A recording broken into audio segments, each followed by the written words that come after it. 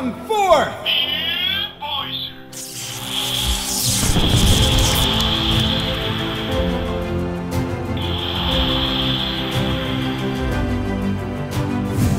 Hey guys, thumbs up for Big Giant Purple Dragon. Yeah, review starts now.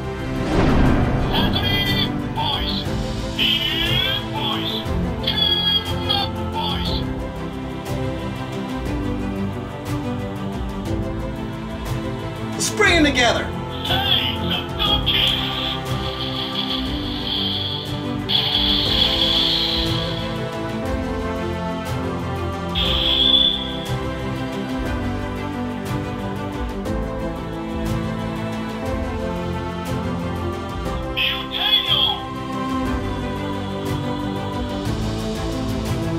Let's make a bigger giant thing.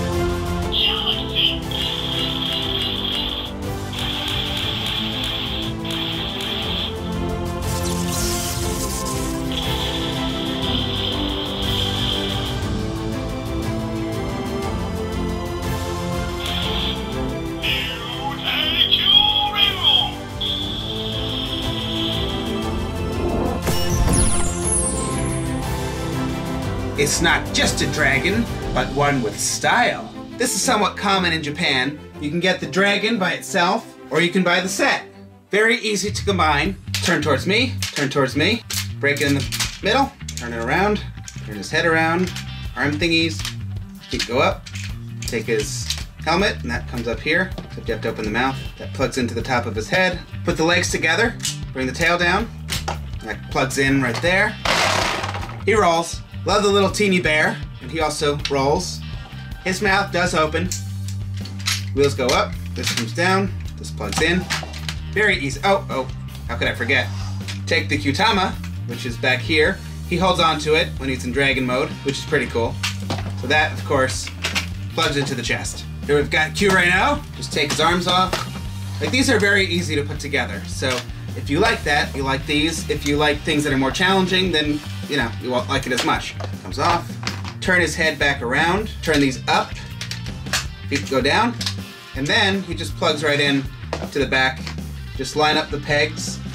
All right, now take yellow, green. There you have it. Now take the head, and that plugs in to the front. It's very bright and happy. Really do love these overall. All right, my thoughts on this set. I really do like the dragon, but after seeing it on TV, it's not as cool as the toy as it is on the show.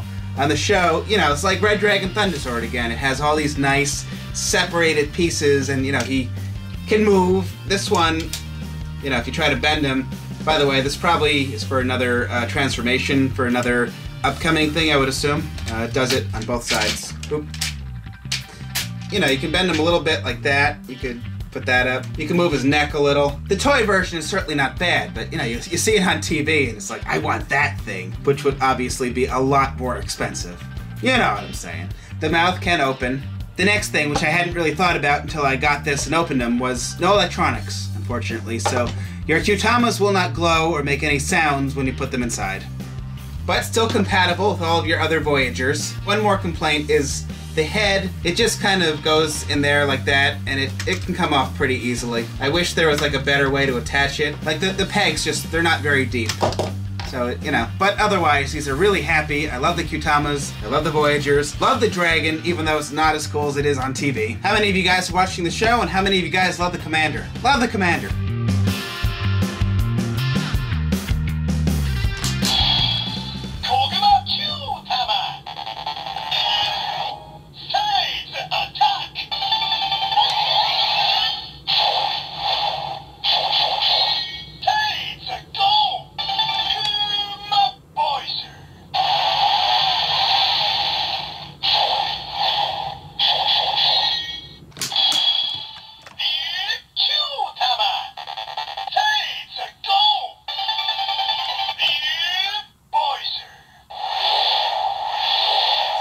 Actually came from Hobby Link Japan. I had pre-ordered a bunch of stuff. I thought I was getting just this and that, since I already had the Scorpion. Before this order shipped, thankfully I noticed I had two dragons in my cart somehow, so I put one back. But then when my box came, I found that. I don't know if it's me or their website, but I seem to be very good at ordering things I didn't mean to order. It's a really cool box.